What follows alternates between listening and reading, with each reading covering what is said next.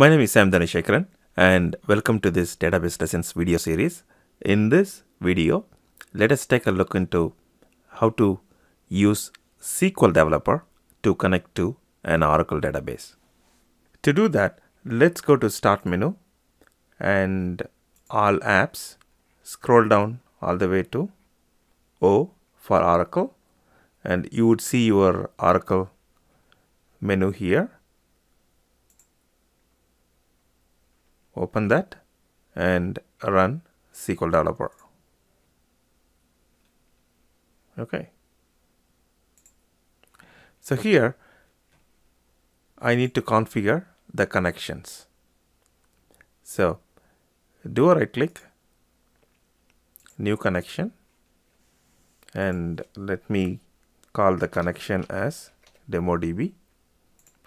The username is system. I'm going to connect as system and I know the password for system as I set the password during the installation and the connection type is basic and the role is default. Do not change anything as of now.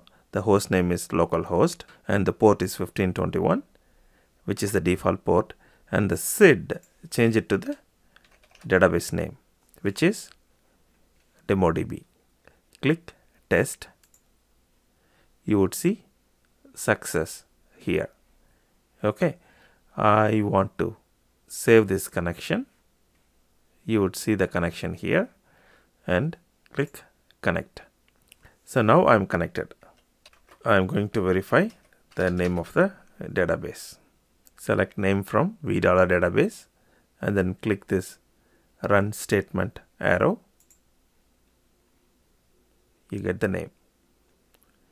So that's how you use Oracle SQL Developer to connect to a database. Thanks.